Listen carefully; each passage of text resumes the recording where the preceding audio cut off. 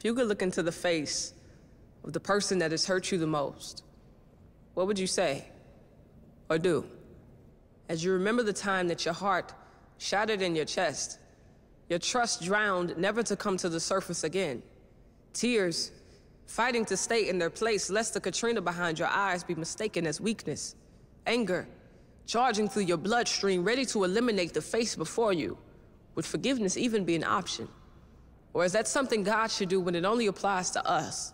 Love in the scriptures is the measure by which we learn if we know God, but as image bearers, our mirrors are showing someone quite unfamiliar. We've all been enemies too. Or have we forgotten that we were all sinners sentenced to sit in an infinite judgment? Have we misplaced the years that we've chosen mere people over his presence? Used his air to breathe lies and deceit and pride? Rejected eternal life to enjoy the same activities demons would applaud?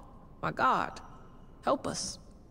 Help us grab the unforgiveness out of our hearts and release it into your comforting hands, diffusing its power over our peace. Help us see ourselves and those that resurrect the bitterness in our souls.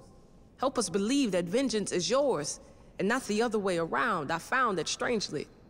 The broken pieces of my heart that have been bruised and broken by the wolves of life to feast have made provision for prayer, creating opportunities for me to beg for your love to fill me find its way into my soul, and love me till I'm fixed, till I can finally look my enemies in the face and say, forgiven.